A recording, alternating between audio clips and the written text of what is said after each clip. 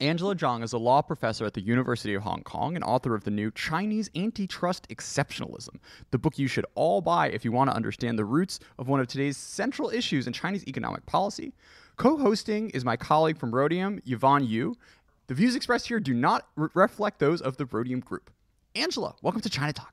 It's a pleasure to be here. First off, back when you started research on Chinese anti monopoly policy, it presumably wasn't A1 news. What first got you interested in the topic? I first began to study Chinese antitrust law when I was a graduate student at the University of Chicago, and that was really a long time ago, back in 2006. And obviously, China did not have an anti monopoly law at that time. The law wasn't promulgated until 2007, but everybody was expecting that China is going to have one. And Chicago school was quite famous for antitrust, so I thought it would be interesting to do like a comparative study of the Chinese and the US antitrust law. Eventually, I didn't do that because so much of my writing is not about the law itself, it's more about the politics behind the law. Another important reason actually has to do with my doctoral advisor, Richard Posner. He was a judge and a very prominent um, econ scholar and has done very influential work on antitrust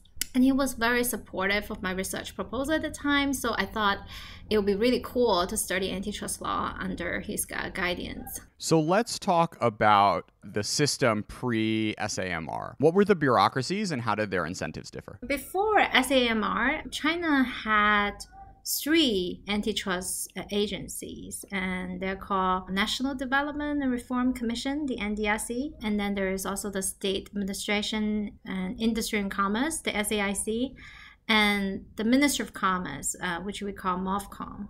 And each of these agencies, they have a very different mission, or you can say they have a very different KPI, depending on the functions of their department.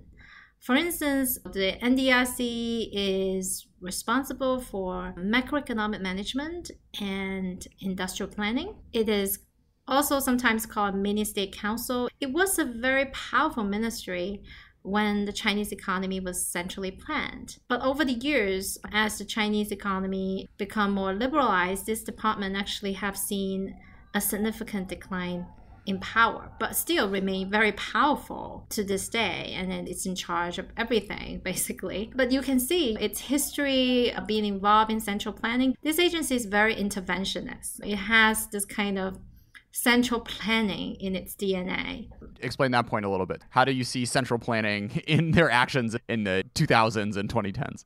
NDRC uh, is a very interesting ministry in China. Prices in China have all been liberalized over the years, but within NDRC, there are still a couple of departments that are in charge with price regulation and price supervision.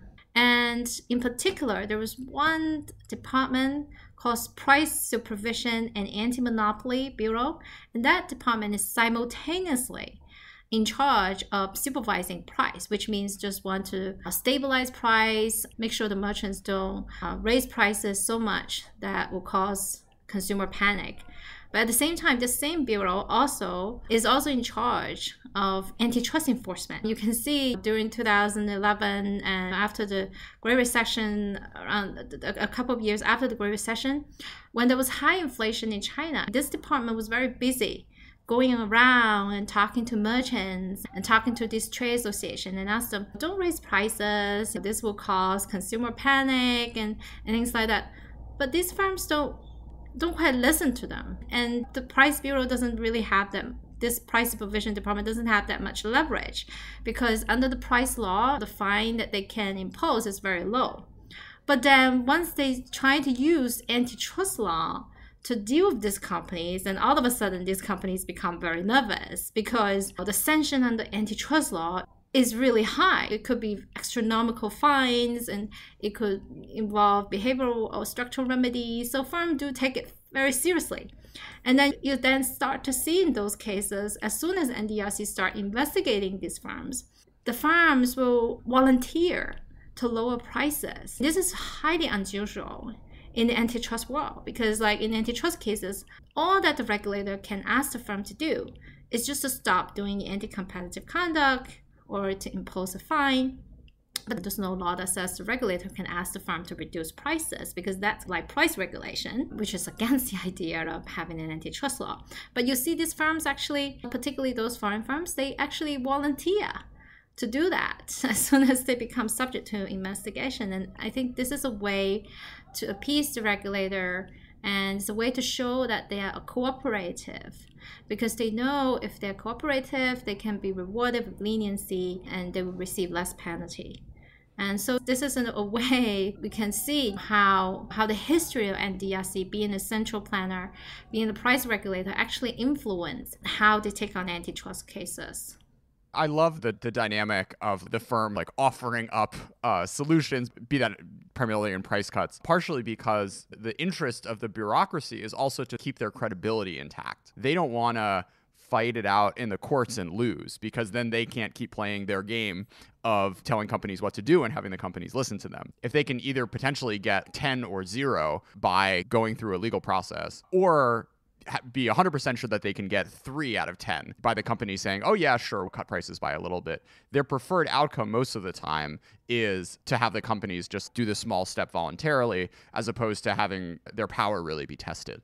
I think the vast majority of these companies mm, never really thought about going to court with the agency. It's not that these companies think that Chinese judges are weak or they don't trust the judiciary. It's just that you don't see that kind of dynamics in China because the cost for the firm to challenge the agency could be very high. I'm not talking about the legal costs, I'm talking about transaction costs. There are a lot of consequences if they directly confront the agency. Just think about what's happening to Alibaba at the moment, right? No one in the investor world would think that Alibaba would ever challenge SAMR in court for yeah. the decision they make. From Alibaba's standpoint, the sooner they receive the penalty decision is actually the better because that removes all this uncertainty about its stock prices and about the, the future of this company as well. Chinese company are very accustomed to to be comply and obedient when it comes to government orders. I, I remember when TikTok was trying to venture to the US and uh, Trump was trying to force TikTok to sell their assets, the first instinct of Zhang Yiming, like the CEO of TikTok, was to obey and comply until they realized, oh, we are not in China, we are in the US, we can challenge, we can actually sue the executive branch. And it was it was very interesting. Then like the whole dynamic changed. So yeah, I, I, I agree. I think it's almost a habit now of Chinese companies to to comply. I, I elaborate a lot uh, on this kind of power imbalance between government and businesses in China. And in my opinion, I think there are two major factors behind it. The first is that a lot of these companies they do operate in the legal gray area. Either they work in a very new sector that has not been regulated, but there is a possibility that government regulators may catch up and regulate them later. So that will give the government a lot of leverage in, in dealing with their business. Ant is a perfect example and has kept innovating over the years and has been trying to adapt very quickly to the government's demand, but they always try to run ahead of the regulators. And I think that is the one important reason. And second, a law professor myself, what I realized after all these years practice and observation is there is a limit to what law can do. Behind it, there's always a lot of ambiguity, which will allow the agency and enforcer a lot of discretion in interpreting the law. And that again will give the government a lot of leverage. Like, for instance, under antitrust law, the agency can impose a fine on the firm between 1 to 10% of this firm's turnover, which means its revenue in the previous year. And there is a big, big uncertainty as to which part of the firm's revenue. Are you talking about Alibaba's revenue in, in a city, or is it in, in a province, or the national revenue or global revenue? There is a lot of uncertainty and a lot of discretion the agency can apply in making decisions. And that again give the agency leverage. You are absolutely right that almost become the default for the Chinese company to be compliant with the government's demand for a number of reasons. And a lot of them actually have to do with the institutional settings in China. So there are a few instances in your book where the regulators end up bumping against a non-compliant party, be that an, a powerful SOE or in the case of Qualcomm, a foreign firm which is willing to fight back because the consequences of what the reg- regulators are proposing is central to this business. Can you tell a few stories about those dynamics and how you've seen them played out in the past? When you think about it, these agencies, they are rarely challenged in court. Those government departments in the US or the European Commission who are frequently challenged in court, they don't need to worry that much about judicial constraints or judicial review. However, that doesn't mean that these agencies do not operate with any constraint, can do whatever they want. They actually operate with very tight constraints because they were just a small bureau, antitrust authority, whether we're talking about the, the, the former three agencies or the incumbent one, it is just a very small bureau within a very huge central ministry. So they do need to play by this kind of formal and the tacit rules of the bureaucracy. When the antitrust authority want to bring a case against a very powerful state-owned firm, particularly when we're talking about those centrally state-owned firm, it faced a lot of resistance from within the bureaucracy. So the battleground is not actually fought in court but rather fought within the bureaucracy. And uh, back in 2011, when the NDRC brought an investigation into China Telecom and China Unicom, two of the largest telecom firms owned by the central government in China, and that case caused a huge stir because the way the NDRC announcing the investigation was highly unusual. It announced its investigation on a state television program, and that caused the stocks of these two companies to tumble. And then, following that, there was a, a lot of negative media uh, coverage about these two companies. And that's a way for NDRC to mobilize the public sentiments to push forward this case because it ran into stalemate when it tried to investigate the, these companies because they were so powerful. They have the in, the sector regulator and the state asset regulator that are backing them. It was really hard for NDRC to uh, to deal with these two firms. And actually these two firms didn't take NDRC seriously at that time so it wasn't really until NDRC make a big announcement on state television, which allowed it to control this public opinion. It was at that point the shift of attitude from these two large state-owned firms. And then they these two firms offer some measures to rectify their behavior and then asked NDRC to suspend its case. And if the case was actually suspended. There was no fine or penalty imposed on this company. So it's like a compromise between the two factions, you would say. But this is an example we can observe in, in a high profile antitrust case involving vested state interests. The Chinese antitrust authority actually need to resort to extra legal tactics and measures in order to push forward their case. So it's the case is not really about the law itself. It's more about power. It's more about influence. Why was NDRC chasing the the China Telecom and Unicom at that time? Was the intention behind? Was it really sincerely anti anti monopoly concerns? At the end of the day, no one know because it's, this is very unobservable. What is the true motivation? But there are several interpretations here. One plausible interpretation is like NDRC is also in charge of price regulation, particularly telecom regulation. And so by leveraging antitrust law to discipline these two companies also help NDRC to expand its policy control to regulate the prices of telecom because prices of telecoms are also simultaneously uh, monitored by the sector regulator, MIIT. So that's why the sector regulator was very unhappy about the investigation. And actually, the two regulators, MIIT and the NDRC, they fought publicly through those media outlets that they control about whether it's it's legitimate to regulate these two companies. The newspapers that are controlled by MIIT publish a lot of commentaries criticizing NDRC's actions. So eventually become like a fight between these two uh, regulators. Hmm.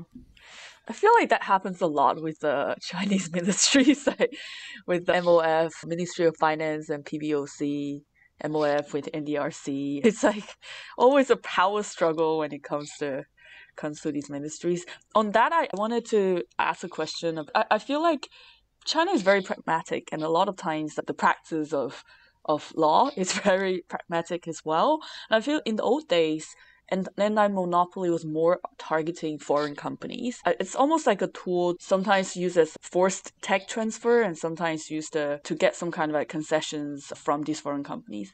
Would you agree with this this statement? The thing is, like antitrust enforcement is very unobservable in the sense that it's subject to many different types of interpretations, right? When they investigate a firm, they always have pretty good uh, reasons. They have a strong legal basis to go after these companies.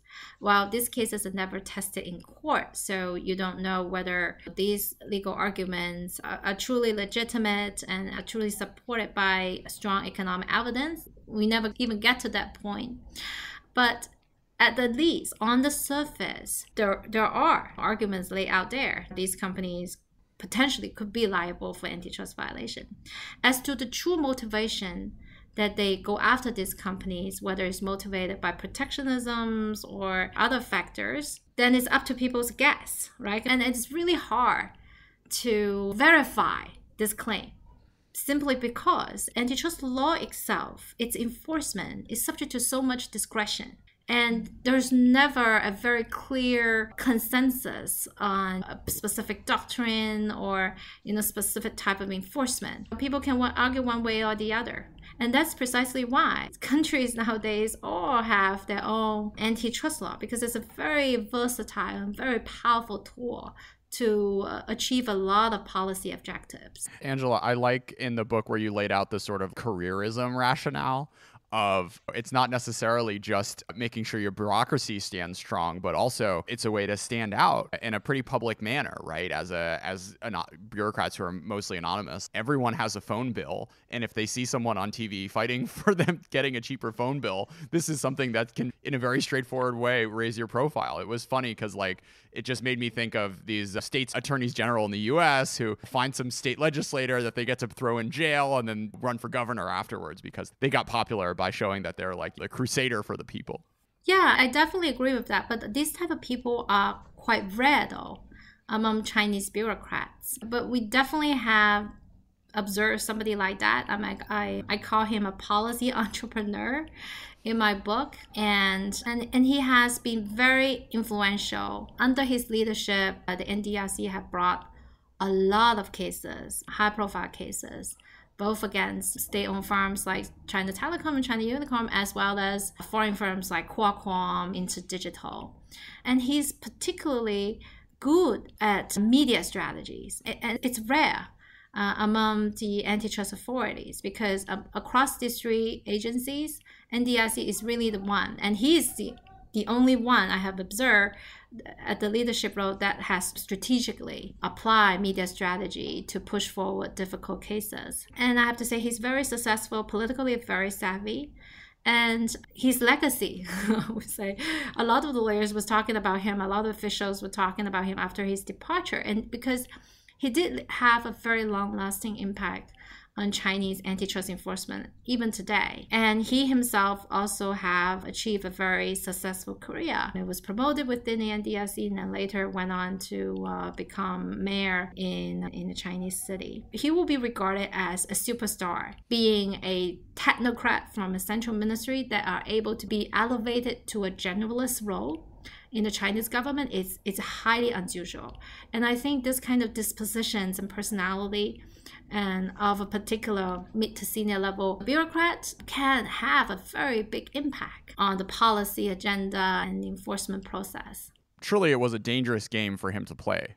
Yes, and, and during my interview, uh, I mean, all these people will agree with that. On the other hand, you can say he's very courageous right? He's there to go after the largest state-owned firms, and he dared to go after Qualcomm. Qualcomm is not an easy player to tackle because Qualcomm has so much skin in the game in China. Qualcomm has over 50% uh, of its revenue coming from China. So Qualcomm really fought very hard against NDRC at that time. They mobilized all sorts of efforts, including the politician, lobbyists, and go way up to the US president to lobby against this case. And, and the NDRC really have to resist a lot of pressures from within the bureaucracy in dealing with all these cases.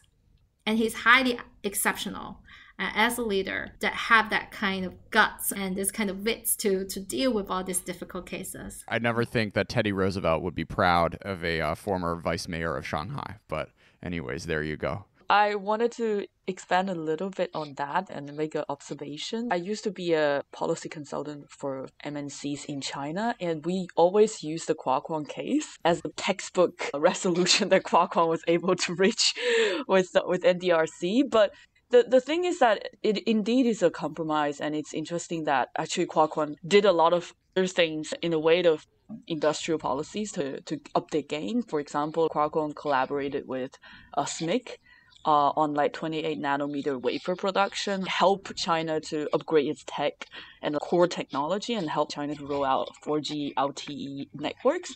So sometimes I even wonder, did China did it just so they can get help from Qualcomm on technology, that it's a tactical choice. They, they knew they couldn't force Qualcomm out because that was their whole business model.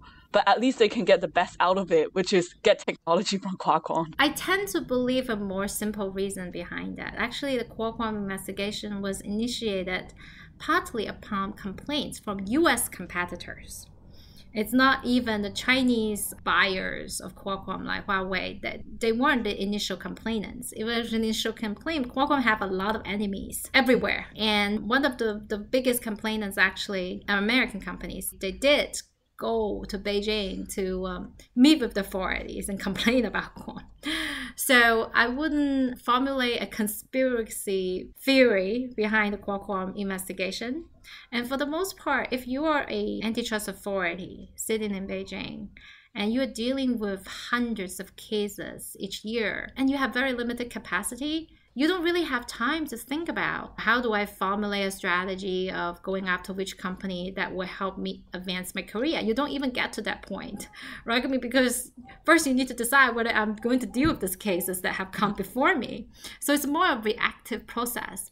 But of course, when they are choosing these cases, they do have a lot of discretion, and you can say that's part of a selective enforcement process. It's almost inevitable right? And Who do I go after? In what, kind of approach I deal with these firms is subject to a lot of discretion. And obviously, it must have been through very uh, careful consideration that they decided that let's bring the fire, all the fire, and go after Qualcomm. And, and Qualcomm was very nervous at that time. It hired the best lawyers, the best economists in China, and it, it go and talk to everybody and trying to enlist help from everybody because they are acutely aware if they lose their case in China in the sense that if China did ask Qualcomm to change its business model in, in charging royalty rate, it will be, have a huge impact on the revenue in China.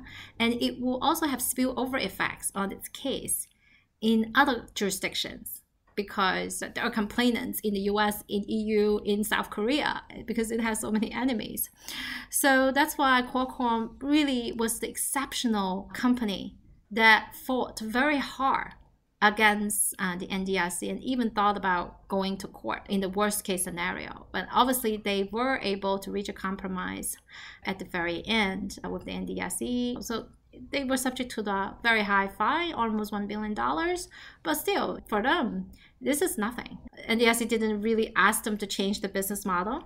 But what is particularly interesting about the Qualcomm case was something that's not in the decision because what Qualcomm did was they volunteered to lower the prices for their products, but that was actually omitted in the final decision. But you can find it in Qualcomm's press release.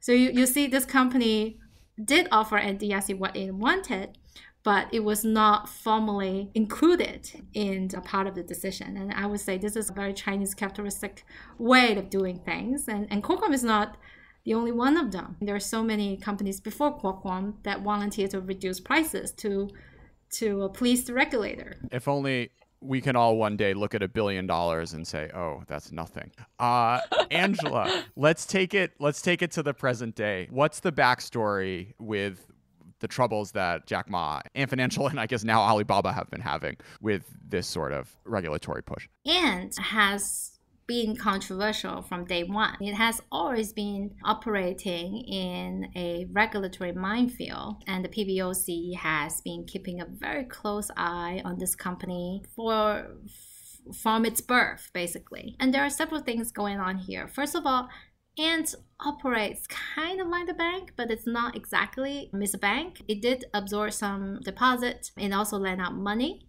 but it doesn't need to fulfill this kind of strict capital reserve requirements like a bank. And that makes PBOC's job difficult because one of the ways PBOC manages monetary policy is through changing and adjusting the capital reserve requirements for banks. And for a company with such a huge size like Ant, but it is out of PBOC's reach. So that kind of annoys the regulator.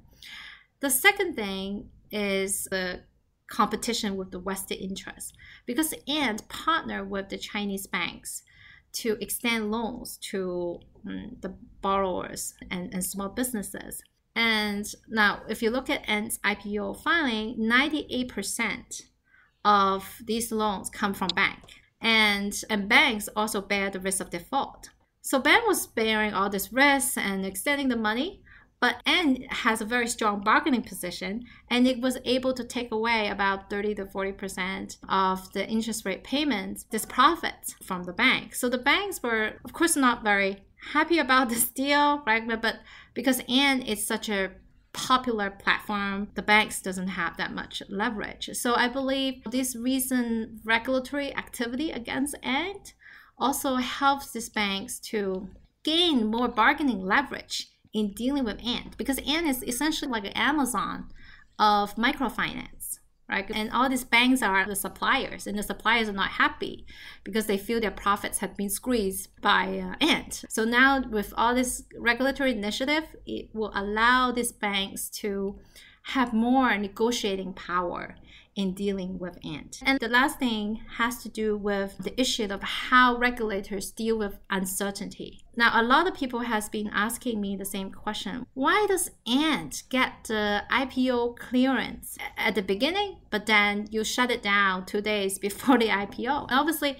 and that gave uh, rise to a lot of speculation about how this whole decision is highly political. From my perspective, I think it has more to do with the regulation issues. It's the fact that there's so much that Ant's business could potentially carry. It's, it's quite unknown. So regulators, they do have quite different opinions of how we should regulate this kind of risk of uncertainty. Especially once Ant filed for an uh, IPO, there is more disclosure coming out from Ant's IPO filing, which reveals Ant's lending business and its business model. And at the same time, Ant's IPO is very popular and was oversubscribed. And it also received the premiums as a tech firm rather than a bank, which got PBOC very nervous because PBOC has always been in the mindset of regulating Ant like a tech, uh, like a bank rather than tech. So regulators become very nervous about this huge bubble that is creating by the IPO. And I think that's why regulators like PBOC really want to ring in the firm. And I think Jack Ma's famous speech in Shanghai just gave the regulators this opening to tackle this problem. Let's stay on this speech for a little bit because we haven't talked about it on ChinaTalk yet. What was your first reaction when you read it or heard it? Oh, yeah. At first, I was shocked that somebody dared to say that publicly in front of so many senior regulators. Jack was saying how the regulation was outdated, how the Basel rules was like an almonds club, and how banks are like pawn shops. And in, in some regulators' mind, this is like a humiliation of what they have been doing and have been advocating. Because since 2018, there was a very clear regulatory shift among the Chinese finance regulator in trying to exert greater control over the non-financial firms that operate in financial business. Essentially, the Chinese government have been trying in the past few years trying to do this deleveraging campaign, trying to reduce the influence of shadow banking. And so what Jack was talking during the speech was directly in contradiction with all these policy shifts that the senior financial regulator was saying. It's just a slap on their face. If I were the regulator, I, that would be how I feel about it. But at the same time, this episode also remind me of what happened back in around 2014, 2015, and that was also elaborated in my book. And Alibaba at that time also have a direct confrontation with the regulator, which is the SAIC, which is the predecessor of SAMR. And at that time, the, the regulator released some negative uh, results about counterfeit products on the Taobao platform, and Taobao rebutted publicly and said that the SAIC's uh, report contained procedural errors, and the director of that e-commerce bureau was blowing black whistle. And that really annoyed the regulator at that time. The regulator then released a white paper, which was actually an old report that it has with Alibaba, which contained a lot of negative news about the firm and released it on its website. And that caused Alibaba stock to tumble almost 8% in one day. And that event actually led to Jack Ma flying to Beijing to meet with the head of the SAIC at that time. And eventually they reached a compromise and, and the report was removed. And then there was no more, uh, unlike now, the whole things were completely blew up.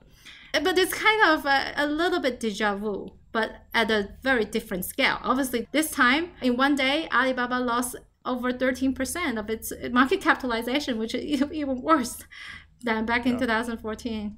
Yeah, and the crazy thing is, my, my, reading of the 2014 episode in your book is that they were right in that it was pretty selective, them just finding like random little fake goods on Taobao or whatever. And it's still possible that Jack Ma's critique of the financial regulatory structure isn't completely unfounded, but w- once you raise this to the level of personal challenges and striking at the heart of what these bureaucracies are and what they do and their place in the system, then you really raise the stakes. And if you lose, you can lose huge. And that actually go back to the earlier point we were discussing about this kind of power imbalance between government and business in China, and the fact that the government has so much leverage over these companies because these companies always are found to operate in the legal gray area right? There are so many other things the government can go after you, whether we're talking about counterfeit or talking about antitrust or financial regulation. There's so many things on the plate. So that's why the default for most companies will be to you know cooperate and you can lobby within the bureaucracy and try to get a better deal but don't fight publicly with the government that that doesn't leave you to a very good consequence as you can see what's happening with ant that note, I wanted to, to point to a view that you express in the book, which I very much agree, is that there's no clear distinction between ownership and control for Chinese firms. And could you like elaborate a little bit of how government is able to exert control over companies, even though it's private companies that with only limited ownership of SOEs, and what might be their incentives? to control these companies? In general, I don't want to give the readers the impression that the Chinese government can dictate everything firms do. I mean, firms do have significant discretion in running the business, even including state-owned firms, and they do fiercely compete with each other. And for the most part, the Chinese government has very little incentive to coordinate activities. And they don't have the ability to, to do that either because of decades of market reform. They do want to give the firm the autonomy to run the business because if they really exert very tight control, farms will lose this kind of vitality in competition. But at the same time, in times of important policy needs, like for instance, if there's a health crisis like COVID, you will see the Chinese government are in the position to mobilize companies, particularly the state-owned companies, to work very quickly, like Sinochem, and there's a lot of Chinese state-owned farms at that time, they start to ramp up the supply very quickly to produce masks, to produce ventilators, to produce all this health equipment to uh, serve the public needs. And then similarly, in this kind of Belt and Road initiative, you will see a lot of both state-owned farms and private farms. They volunteer to join the initiative to contribute to the, the belt and road projects and, and, investments. And for the most part the government don't really need to tell the firm exactly what to do because this kind of incentive could be more subtle. It's like firms can express their loyalty by you know responding to the policy calls from the government because if you're an entrepreneur in China, you will understand it's much easier to run a business if what it is doing is deemed consistent with the party line rather than contravening the party line. That's what we've seen uh, with the recent episode with Ant. And now, following the party line doesn't necessarily mean things political. It could mean a lot of things because the party have a lot of different objectives, and and these different object objectives could be could be prioritized at different times, right? Sometimes it could be economic growth, and sometimes it could be economic stability. So, if you uh, recall a few years ago, when Xi first came into power in 2012, there was a great emphasis on reform. And that was the only thing you heard economic reform, market reform for a couple of years. And there was a lot of initiative encouraging innovation, entrepreneurship. And you heard this private business like Tencent and Alibaba really join in the, this campaign and trying to usher in more entrepreneurship. And there's a lot of initiative at that time. But then during Xi's second term, there's greater emphasis on stability social stability, financial stability, economic stability. And then firms then gradually shift. And those that didn't adjust very well and adapt very well to this kind of state demand will unfortunately be deemed inconsistent. And then eventually they didn't do very well. It didn't lead to very good consequence. I have a very embarrassing Douyin feed. Of late, it's been a lot of videos of young people just like explaining the 14th five year plan and how you should align your future professional dreams to make sure that whatever you're doing is in accordance with the party's plan for the country. Definitely not a trend that's going anywhere anytime soon. Being sure you're on the right side of the prioritization of the party at any point in time. So, changing gears a little bit, in your book, you also talk about the interaction between Chinese and Western regulators. In the past year or so, we've seen Chinese regulators adopt many of the tools that the, the US government has in its toolkit with regards to export controls and extraterritorial sanctions, and even the push to undermine US extraterritorial sanctions. How do Chinese regulators learn from what's happening in the West, and how do they try to incorporate that or not in the way that they do their work, both with respect to anti monopoly as well as these sort of more economic lawfare type tools that we've seen really come to the fore during the Trump administration. I like the, the way you phrase it as legal warfare. And that's something that the Chinese leadership and, and also the Chinese public starting to realize. Really since the Huawei incident, particularly the arrest of Meng Wanzhou, that was a wake up call for, for the Chinese government that the US uh, has such strong extraterritorial sanctioning power over Chinese companies, even those activities seemingly have very little nexus with the United States. Like this kind of activities actually occur outside the United States, but the US was still able to exert influence on this on these deals. And the, the first reaction from the Chinese policymaker is we need to do something. We cannot sit there and do nothing. And then we need to come up with a countermeasure. And that's precisely why China is thinking about a tick for tack strategy that we also need to have our long arm jurisdiction to counter the, the US sanctions on Chinese companies and Chinese individuals. And it's very natural for them to think about antitrust because antitrust law do allow government the power to exert extraterritorial control over businesses, even those activities seemingly have little nexus with China. Just think about a deal like Qualcomm's proposed acquisition of NXP, which is like a $44 billion deal. And the deal occurred offshore, seemingly have little to do with China. But the parties would need to obtain merger clearance from the Chinese antitrust authority because without it, they cannot close the deal. So this deal was notified to multiple jurisdictions, actually nine jurisdictions, and the party obtained clearance from eight of them. And China was the only one that held up this deal. And eventually, the parties abandoned the deal because they felt that they have no chance of getting clearance in China. You can tell how powerful antitrust uh, law could be in holding up large mergers between multinational companies that seemingly have little nexus with China because these companies they do sell to China even though this deal doesn't occur on, uh, in China and the target is not in China. But China has this power to uh, exert influence on this deal, and that will give China leverage in countering sanctions from the United States.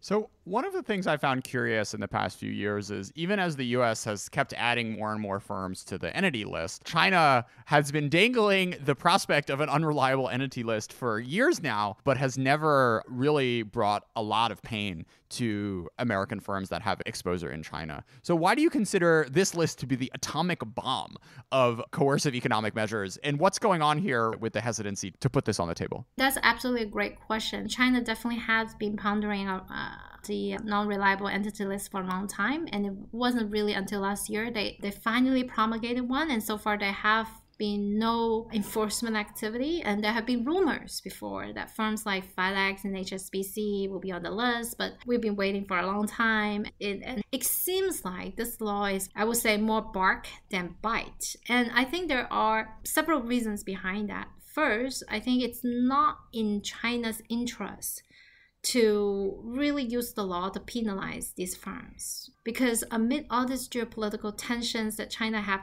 with other countries, the last thing China wants is to see more decoupling. From the China standpoint, it is in its strong interest to attract more foreign investment because the foreign investment will be very important stabilizing forces for the government because these companies can also be important allies for them to lobby uh, against sanctions against China. And on the other hand, China do want to flesh its muscle and demonstrate it has ability to retaliate against U.S. coercive measure, and that's the reason why I think it will it promulgate this unreliable entity list as well as doing a bunch of other things like introducing the blocking statute. But at the end of the day, I think the government will be extremely cautious in applying this law because they don't want to discourage foreign investment. They don't want to cause a panic because this is a time when the government actually really need them. That's why I make analogy that these are like weapons of mass retaliation that I don't think the government will consider using it un- unless at the very last resort.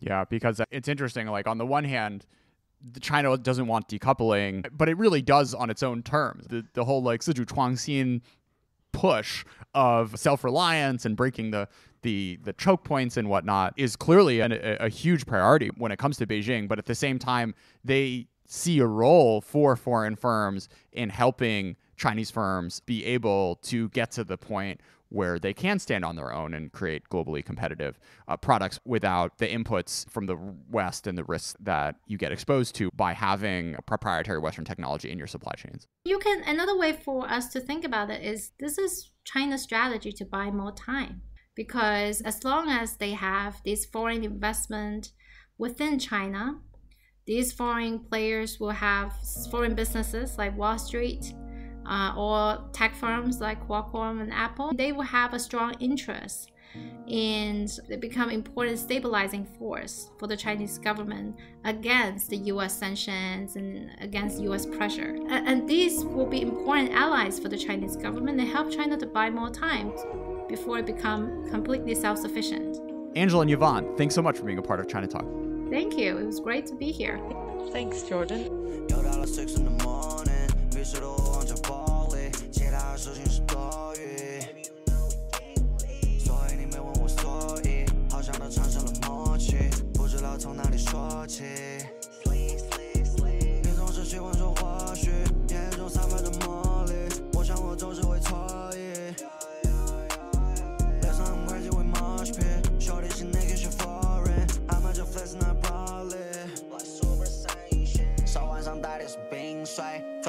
过的清晨，你坐着麻将还在 same page，A 人都超过了英美，你女友都为我心碎，你做的是过去的音乐，你们在唱吧芦苇，我才是这里的领队。我玩的在说，你说的 fuck up，得到了 A 人，我踩到了假牙，现实的 loser，网络的傻叉，pick up 的风味，发光